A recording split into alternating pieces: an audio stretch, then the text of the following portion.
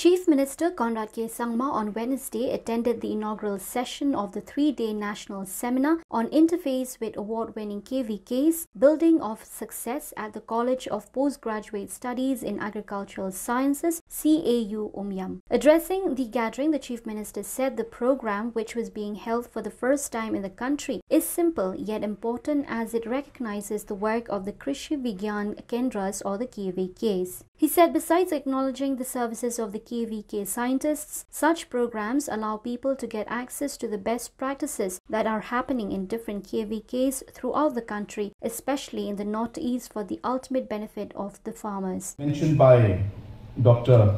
Anupam Mishra that this is a first of its kind program that's being held.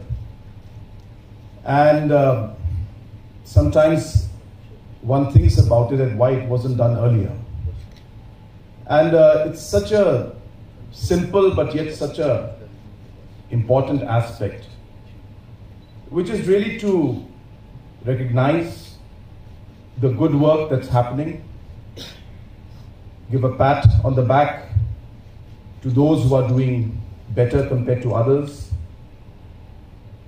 and more importantly, to be able to share the best practices that are happening in different KVKs throughout the country, and especially in the Northeast.